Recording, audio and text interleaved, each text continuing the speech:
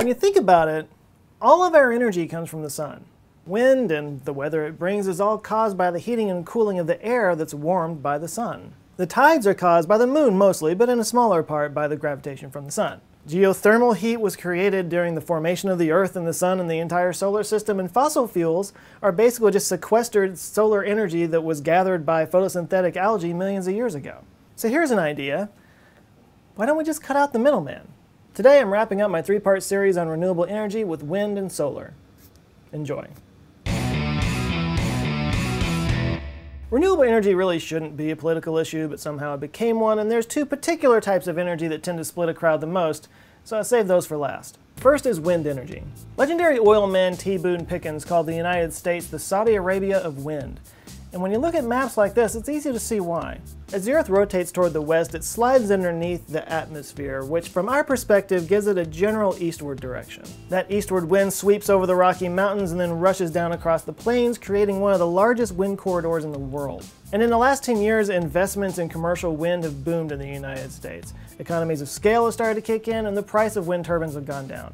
It also costs little to maintain and operate and help create energy independence in smaller communities. And it creates a revenue source for local ranchers who lease out their land to the energy companies. And they're more space efficient. On the ground, they actually take up very little space, which means that those ranchers that lease out that land can still use that land for agriculture. Plus, it's a huge growth sector for jobs, currently employing over 100,000 people, and it's expected to employ over 600,000 people in the next 30 years. All good things. Wait for it. While the price is going down, they are still expensive and inefficient. And they work best in remote areas that require a lot of infrastructure to get that power into the cities where it's needed the most. The noises they make tend to bother some people, and reportedly they kill around 400,000 birds and bats annually. Now in fairness, it should be noted that over 900 million birds die every year by flying into buildings. Is it just me or does that sound like a lot of birds? But the biggest problem is that they're wildly intermittent. Tidal energy, for example, is intermittent but predictable. Wind is totally unpredictable. Whole days can pass with no energy coming out of these things. So without a robust energy storage solution in place, wind is always going to be supplemental. And the worldwide energy potential for wind energy is 400 terawatts, which is impressive, but still supplemental. Now there are some ideas in place to use kites and inflatable turbines to get energy from the jet stream that's way up high in the atmosphere. That may generate a lot more energy, but right now those are just in the experimental phase. So right now, wind energy is a mixed bag. Economically, it does really great things, but it's still a ways to go and some technology needs to be developed in order to make it any, anywhere near a baseload energy solution. Now all of that brings us to our final energy source, solar energy. Now there's a reason why I saved solar for last, because there's something different about solar, something different from all types of energy, clean and dirty. Photovoltaic solar cells, or PV cells, have no moving parts. All the other sources of energy create electricity by turning a turbine, either through using steam or heat or water or wind, but solar literally just collects the energy coming out of the sky. When asked if he was interested in fusion power as a source of energy, Elon Musk famously said that we have a giant fusion reactor in the sky just raining energy down on us every day. All we have to do is collect it. Now there are some negatives to solar power, let's just get that out of the way. The first and most obvious one is there's no sun at night. So this is definitely an intermittent power source. But it's intermittent more like tidal energy than like wind energy because the sun is gonna come up every day. If it doesn't, we got bigger problems. And yeah, even in cloudy weather, it's still producing something.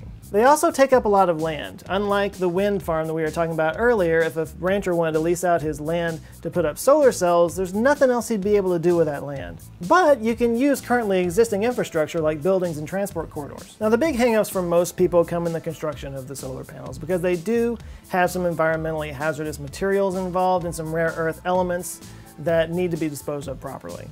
And some PV panels require rare earth elements like those found in cadmium telluride or copper indium gallium selenide, which is all the more reason to recycle the panels properly. Luckily, 96% of a solar panel can be recycled. Unfortunately, the recycling infrastructure is pretty small right now, but it's expected to blow up quite a bit in the next 30 years. But the one that gets the solar haters the most twisted up is the fact that it does produce greenhouse gases to make solar panels. Specifically nitrogen trifluoride and sulfur hexafluoride. And yes, that sucks. But the argument that we should stick with coal over solar because of those greenhouse gas emissions is frankly absurd. Because with solar panels, it's a one-shot deal, and then you're getting clean, free energy for the next 20 to 30 years. With coal, you're constantly pumping out greenhouse gases that entire time. It can't even be compared. This debate was laid to rest by Wilfried van Sark of Utrecht University in the Netherlands. In a paper for the trade Nature Communications, he and his team calculated the amount of greenhouse gas emissions created by PV panel production all the way back to 1975 to see how long it would take before they made back their debt. They adjusted for the different processes used over time and for the different conditions that those panels were made in in different places around the world. What they found was that solar panels created back in 1975 created 300 to 400 grams of greenhouse gases, whereas solar panels created today only put out 20 grams of greenhouse gases. So panels made back in 1975 would take 20 years to make back their carbon debt. Today, it's only two years. That's both because they're producing a lot fewer emissions when they make them, but also because they're far more efficient. Overall, the clean energy output of solar panels will exceed the carbon debt of all solar panels ever made in 2018. Meaning after next year, solar panels will be a net negative source of carbon until the end of time. Boom. Now, whenever I've been able to find the information, I've shared what the worldwide potential for these energy resources are so that we can compare them against the worldwide energy consumption. And for the most part, they've been underwhelming. Whelming at best. But the total global worldwide potential for solar is mind-blowing. This is where solar really shines. The amount of sunlight that reaches the Earth's surface every day is over 3 million terawatt hours. That's 142 times our global energy expenditure for the entire year. Now, of course, we can't cover the entire planet with solar panels, and we don't need to collect nearly that much electricity, so what can we actually do with this information? Well, let's math the shit out of this. All right, according to Wikipedia, 3,850,000 exajoules of energy reach the surface from the sun every year.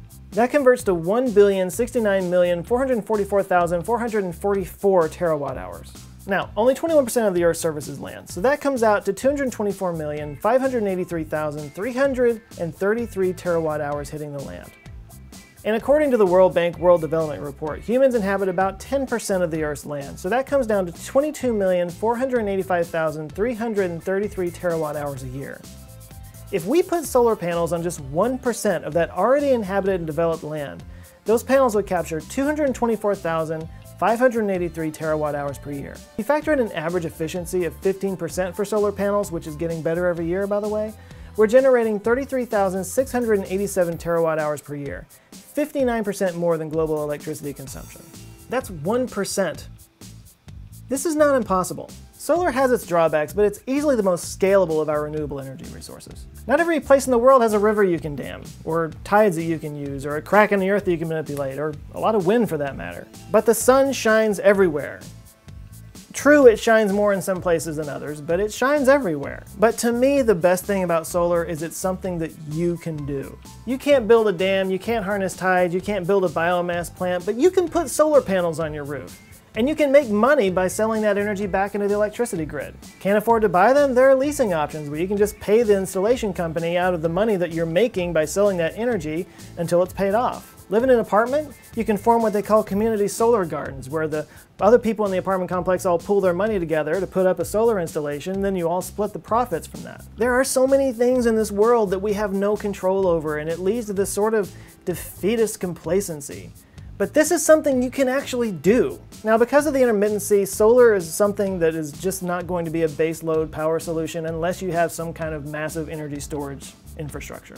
This is why Elon Musk created the Tesla Powerwall and the commercial power pack solution. It's the first step to a solar-based decentralized energy grid backed up by baseload carriers like hydroelectric and biomass, and when necessary, fossil fuels.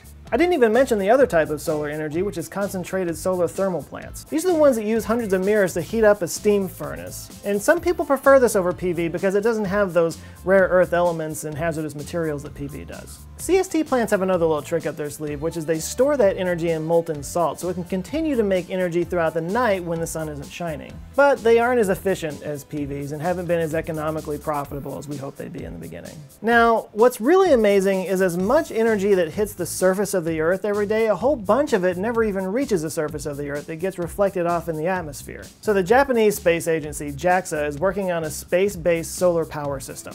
It would capture unfiltered solar power directly from the sun and then beam that down to a station on the ground through microwave radiation. So there's that. The energy grid of the future is going to be more decentralized and more diverse, which is a good thing. It's never good to have all your eggs in one basket. It's going to take a combination of all these things wind, solar, biomass, hydro, tidal energy to get us where we need to be. But it's the combination of all those things that can direct us towards a cleaner future. So I set out at the beginning of this series to be as objective as I possibly could. And honestly, my opinions did change a little bit. Now, for one thing, as many problems as we have with coal, I understand now why it works so well and why it's such a hard energy source to beat. I became a lot more disillusioned with geothermal and wind, but I was pleasantly surprised by biomass. I was already on board with solar, so that didn't change.